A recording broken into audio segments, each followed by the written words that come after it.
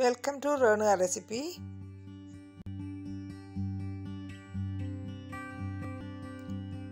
வணக்கம்.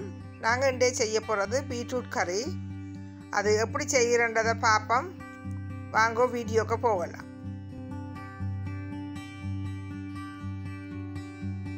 இந்த பீட்ரூட் கறி செய்கிறது தேவையான பொருட்கள் என்னென்னு பார்ப்போம். ஒரு பீட்ரூட் எடுத்து சின்ன சின்ன துண்டுகளாக வெட்டி எடுத்து வச்சுக்கிறேன். ஒரு வெங்காயம் ரெண்டு பச்சை மிளகாய் கொஞ்சம் கருவேப்பிலை ஒரு டீஸ்பூன் வெந்தயம் கொஞ்சம் பெருங்காய பவுடர் ஒரு பிஞ்சலாக போட்டுக்கொள்வோம். எண்ணெய் கொஞ்சம் ஒரு டீஸ்பூன் அளவு எண்ணெய் விட்டுக்கொள்வோம். தேவையான அளவு உப்பு.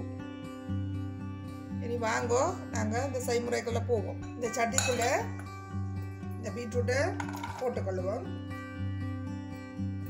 இருக்கிற ரெண்டு பச்சை மிளகாய் இந்த வெங்காயம் ஒரு டீஸ்பூன் வெந்தயம் போட்டுக்கொள்கிறேன் உப்பு ஒரு டீஸ்பூன் போட்டுக்கொள்கிறேன் நீங்கள் உங்களுடைய டேஸ்ட்டு தக்கன மாதிரி போட்டுக்கொள்ளுங்க. இதுக்குள்ள ஒரு டீஸ்பூன் அளவு எண்ணெய் விட்டுக்கொள்ளுவோம். ஒரு கப் அளவு தண்ணி விட்டு அவிய வைப்போம். நான் தண்ணி விட்டுக்கொள்கிறேன் இப்போ. மூடி போட்டு அவிய வைப்பேன்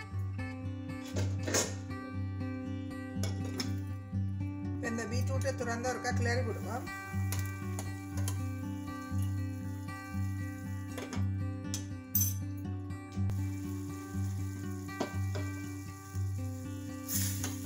இந்த பீட்ரூட் நல்லா அவிஞ்சிட்டது. நாங்கள் இதுக்குள்ள ஒரு பிஞ்ச் பெருங்காய பவுடர் போட்டுக்கொள்வோம்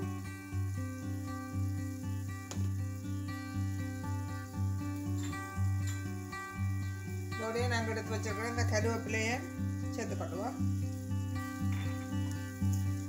இது முதல்ல உங்களுக்கு சொல்லல கொஞ்சம் பால் போட்டுக்கொள்வோம் பால் விடாமலும் வைக்கலாம். பால் கொஞ்சம் விட்டுக்கொள்கிறேன் நான். வேணுமெண்டா விடலாம் விடாமலும் வைக்கலாம்.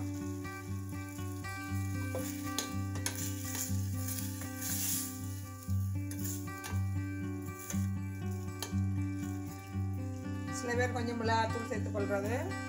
ஆனால் பச்சை மிளகாய்கள் போட்டிருக்கபடியே அந்த உரைப்பு காணும். நான் மிளகாத்தூள் ஒன்றும் போடல. ஒரு ரெண்டு நிமிஷம் கொதிச்ச பிறகு நிப்பாட்டுவோம் இப்போ பால் விட்டு இந்த கரையை கொதிச்சுட்டு நீ நிப்பாட்டி கொள்ளுவோம்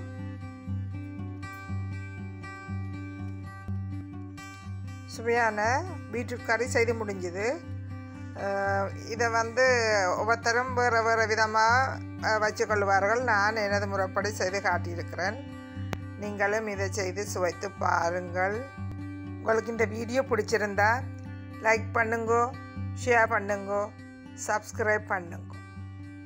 நன்றி வணக்கம்.